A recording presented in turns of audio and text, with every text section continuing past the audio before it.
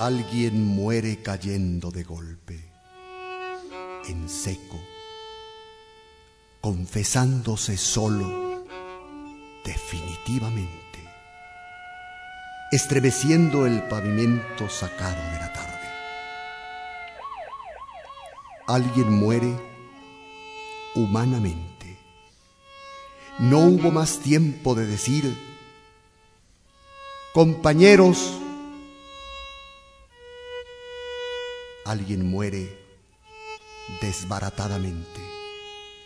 A dos centímetros del pavimento, la vida se deforma como la primera mayúscula infantil.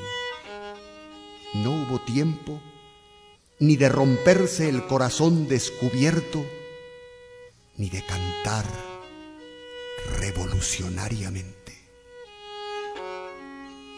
Alguien muere su completa inmovilidad, irremediablemente de sí mismo, sin años, ni mujer amada, ni hijos, ni nada ya.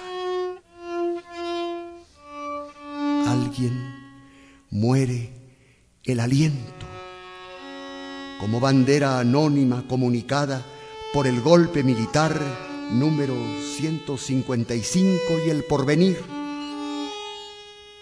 Alguien muere demasiadamente. No se oye ya. Solo el helicóptero oficial del terrorismo de Estado, que escapa a través de la metralleta M1, ahogada por la unión del pavimento y la guerrilla del pecho cumplidamente nacional entre el humo y la paga.